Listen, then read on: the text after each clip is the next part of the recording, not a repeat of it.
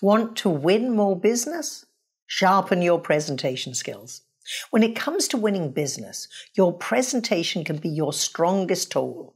Imagine you're competing with three other firms. No doubt your product, service, or technology is almost identical to theirs. What makes the difference? How you present. When it comes to winning business, good presentation skills are no longer nice to have. They're a matter of business life and death.